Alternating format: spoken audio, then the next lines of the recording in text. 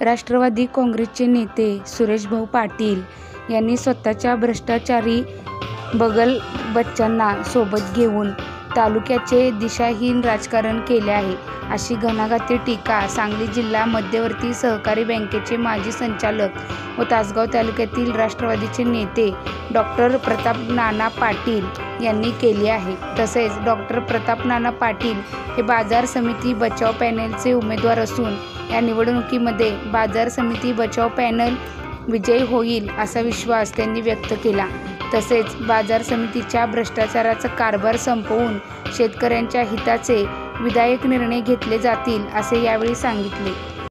दादरा तालुका बाजार समितीच्या निवडणुकीसाठी बाजार समिती बचाव या पॅनलच्या वतीनं मी उमेदवार आहे. आमच्या पॅनलचं चिन्ह कबशी आहे आणि कबशी हे परिवर्तनाचं चिन्ह असून याच्यावरती आपण सर्वांनी मतदान करावं अशी माझी प्रामाणिक इच्छा आहे. सध्या अस्तित्वात असलेलं संचालक मंडळ हे अतिशय भ्रष्ट झालेलं संचालक मंडळ आहे. स्वर्गीय आर आर बा पाटलांची जी स्वप्न होती ती या संचालक मंडळानं धुळीस मिळवलेली आहेत. या मंडळानं प्रचंड असा भ्रष्टाचार केलेला आहे. आणि वास्तविक सगळ्यांनी एकत्र बसून निवडणुका न होऊ नये यासाठी आम्ही प्रयत्न केले. परंतु भ्रष्टाचारी संचालकांनाच उमेदवारी देण्याचा सुरेश पाटील यांच्या आग्रहामुळं ही आपल्या तालुक्यावरती निवडणूक लादली गेलेली आहे. या निवडणुकीमध्ये जर आमचं पॅनल आलं तर निश्चितपणे शेतकऱ्यांच्यासाठी शेतकरी भवन असेल. शेतकऱ्यांना आलेल्या शेतकऱ्याला सन्मानानं वागवलं जाईल. आज शेतकरी अतिशय आर्थिक तणावामध्ये आहे. अवकाळी पावसामुळं असेल बेदाण्याला दर न मिळाल्यामुळं असेल या सर्वावरची मात करण्यासाठी तासगाव कृषी बाजार समिती प्रयत्न करेल. अनेक गोष्टी करता येण्यासारख्या आहेत. आपल्या बाजार समितीची असणारी पंचवीस एकर जागा त्यामध्ये अद्ययावत असे कोल्ड करता येतील.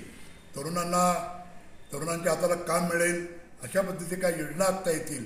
परंतु ज्याला व्हिजनच नाही आहे ज्याला दिशाच नाही आहे ज्याला स्वतःचं व्यक्तिमत्व थोडं व्यवस्थितपणे डेव्हलप करता येण्याची क्षमता नाही आहे अशी लोक सत्तेवर असल्यामुळं आज आमच्या तासगाव तालुक्याचा विकास होऊ शकला नाही. आणि अशा या माणसाला दूर केल्याशिवाय या तालुक्याची प्रगती होणार नाही. म्हणून सर्वांनी ही निवडणुकी कुठलेही कुठलेही जे आम्ही न ठेव ठरवता सर्व पक्ष आम्ही परिवर्तन करण्यासाठी एकत्र आलेलो आहोत.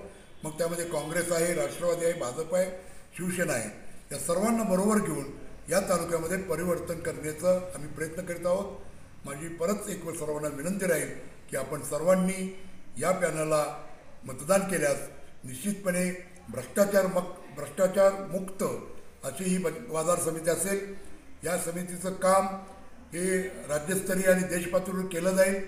बेदाण्याचं मार्केट हे राज्य पातळीवर आणि देशपातळीवर नेलं जाईल. आणि स्वर्गीय आराराबांचं खरं जे स्वप्न होतं तो पूर्ण करण्याचा आम्ही निश्चितपणे प्रयत्न करू.